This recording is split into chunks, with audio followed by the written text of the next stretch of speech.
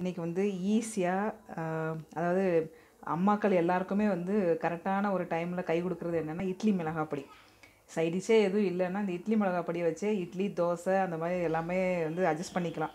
இப்போ எங்கேயாவது ட்ராவலில் போகிறோம் அப்படின்னா அந்த இட்லி மிளகாப்பொடியை வந்து நம்ம மிக்ஸ் பண்ணி கொண்டு போயிட்டோம் அப்படின்னா இட்லி தோசைக்கு வந்து தொட்டு சாப்பிட்றதுக்கு நல்லா ரொம்ப யூஸ்ஃபுல்லாக இருக்கும்.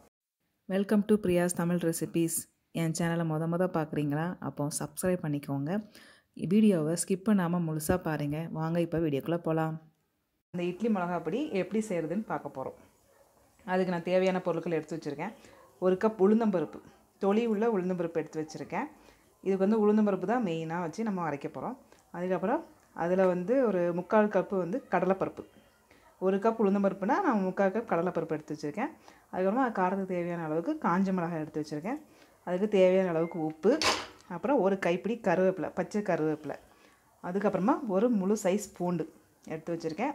மூணு துண்டு கட்டி பெருங்காயம் எடுத்து வச்சுருக்கேன். வாங்க இப்போ எப்படி செய்கிறதுன்னு பார்க்கலாம். இந்த இட்லி பொடி செய்கிறதுக்கு நான் க பருப்புலாம் காமிச்சேன் இல்லைங்களா? அதை வந்து எல்லாத்தையும் வறுத்துக்க போகிறோம் அதுக்கு நான் ஒரு கடாய் எடுத்து வச்சுருக்கேன். அடுப்பை ஆன் பண்ணிவிட்டு கடாய் வந்து சூடாகிட்டுருக்கு இப்போ வந்து இதெல்லாம் வறுக்கிறதுக்கு சும்மா ஒரு ஸ்பூன் எண்ணெய். இவ்வளோ போதும். எண்ணெய் சூடாகணுன்னே எண்ணெய் சூடாகட்டும். ஃபஸ்ட்டு வந்து கரு கடலைப்பருப்பை வறுத்துக்கணும்.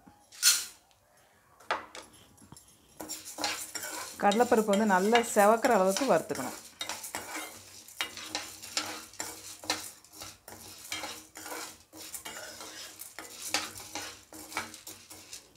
இது நல்ல ரோஸ்ட் ஆகணும். நல்லா இது கலர் மாறி நல்ல ஒரு செவந்து ஒரு ரெட் கலர் வரும் இல்லையா அந்த அளவுக்கு வறுத்துக்கணும். இப்போ கடலைப்பருப்பு நல்லா வறுபட்டுருக்கு இன்னும் கொஞ்ச நேரம் செவக்கணும்.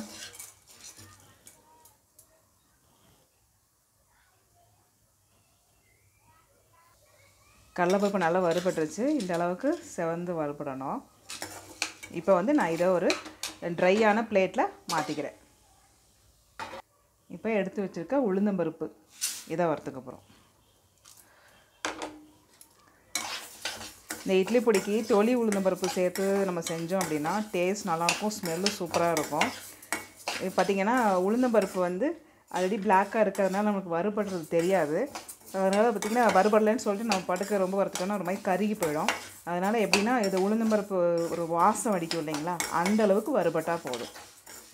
பருப்பெல்லாம் வறுக்கும்போது அடுப்பை வந்து மீடியமில் வச்சுட்டு வறுத்தெடுங்க. அப்போ தான் பார்த்திங்கன்னா ஒரே ஈக்குவலாக எல்லா பருப்புமே ஒன்று போல் வறுபடும்.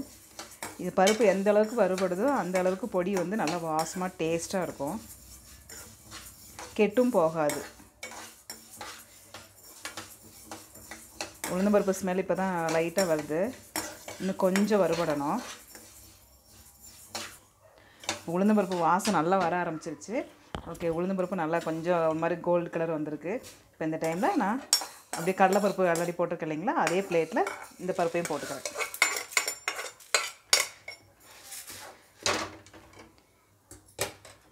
இப்போ வந்து மிளகா வத்தலை வந்து லேசாக வறுத்துக்கலாம். நீங்கள் காரத்துக்கு த மிளகா வத்தலுக்கு அளவுலாம் இல்லை. நீங்கள் எவ்வளோ பருப்பு எடுக்கிறீங்களோ அதுக்கு தகுந்த மாதிரி உங்கள் காரத்துக்கு தகுந்த மாதிரி மிளகா வத்தல் சேர்த்துக்கோங்க. அது சிம்லே இருக்கட்டும். அந்த சூடே ஏற்கனவே கடாய் வந்து சூடாக இருக்கிறதுனால அந்த சூட்லேயே வறுபட்டுரும். மிளகா வத்தல் வறுபட்டுட்டு இருக்கும்போது நான் எடுத்து வச்சுருக்க பூண்டு. அதையும் இப்படி பல் பல்லாக சேர்த்து இப்படி சேர்த்துக்கிறேன். இந்த இட்லி மிளகா பொடிக்கு வந்து பார்த்திங்கன்னா பூண்டு நல்ல ஒரு ஃப்ளேவர் கொடுக்கும். அதெல்லாம் பருப்புலாம் சேர்த்துக்கிறதுனால வந்து கேஸ்ட்ரிக் வாயு தொல்லை வந்து வராது.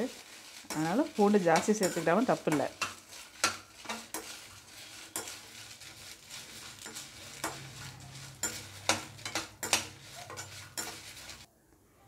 பூண்டு மிளகா வறுபட்டு எடுக்கும் போதே நம்ம எடுத்து வச்சுக்க ஒரு கைப்பிடி கருவேப்பிலை அதையும் அப்படியே சேர்த்துக்கிறேன்.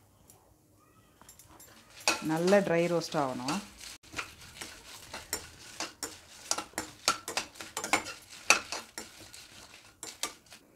மிளகாத்தில் வறுபட்டுட்டு இருக்கும்போதே எடுத்து வச்சுருக்க கட்டி பெருங்காயம். மூணு மூணு கட்டி எடுத்து வச்சுருந்தோம் இல்லைங்களா? அதை ஒன்று ரெண்டாக உடச்சி அதையும் இதோட சேர்த்து லேசாக வறுத்துக்கிறேன்.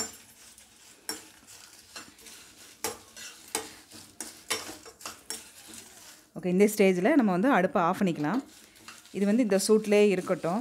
இந்த சூட்டில் இருக்கும்போது பார்த்திங்கன்னா கருவேப்பிலலாம் நல்லா மொறு மொறுன்னு நல்லா ட்ரை ரோஸ்ட் ஆகிடும் இப்போ வந்து இந்த பருப்பு இந்த எல்லாமே பார்த்திங்கன்னா சூடாக இருக்குது இது சூடு ஆறட்டும். நல்லா ஆறுனதுக்கப்புறம் நம்ம ஒரு ட்ரை மிக்ஸி ஜாரில் போட்டு பொடி பண்ணோம் இதெல்லாம் நல்லா ஆறட்டும்.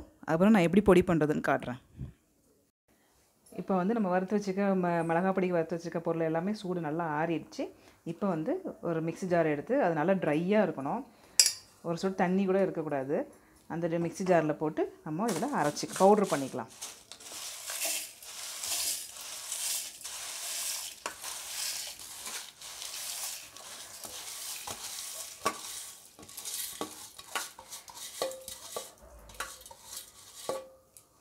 அது கூடயே நம்ம எடுத்து வச்சுக்கிற உப்பு அதையும் சேர்த்து நம்ம பவுட்ரு பண்ணிக்கணும் பவுட்ரு பண்ணிவிட்டு பார்ப்போம்.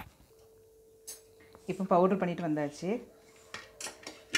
பாருங்கள் இந்த அளவுக்கு அதாவது ரொம்ப மையாகவும் அரைக்கக்கூடாது பரபரன்னு திரிக்கக்கூடாது. மீடியம் ஸ்டேஜில் இருந்தால் தான் நல்லாயிருக்கும் இது. இது மிக்ஸி ஜாரில் அரைச்சிக்கிறதுனால கொஞ்சம் சூடாக இருக்கும். இது நல்லா சூடு ஆறுனதுக்கப்புறம் நம்ம ஒரு ஏர்டைட் கண்டெய்னரில் ஒரு பிளாஸ்டிக் டப்பாலையோ இல்லை ஏர்டைட் கண்டெய்னரில் போட்டு நம்ம வந்து மூடி வச்சுக்கலாம். இப்போ இட்லி பொடி சூப்பராக ரெடி ஆயாச்சு. இப்போ நான் வந்து தோசையோடு சாப்பிட்டு பார்க்க போகிறேன் இப்போ நான் நல்லெண்ணெய் ஊற்றிருக்கேன் இல்லை நெய் ஊற்றி கூட சாப்பிட்லாம். சூப்பராக இருக்கும் டேஸ்ட்டு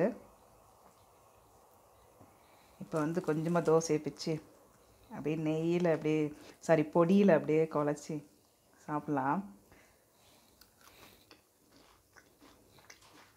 சூப்பராக இருக்குது உளுந்தம்பருப்பு வாசனையோட நல்லா காரமாக கருவேப்பிலை வாசனை வாசனத்தோட நல்லா சூப்பராக இருக்குது நீங்களும் உங்கள் வீட்டில் இந்த பொடியை செஞ்சு பாருங்கள் எல்லாருமே நல்லா விரும்பி சாப்பிடுவீங்க.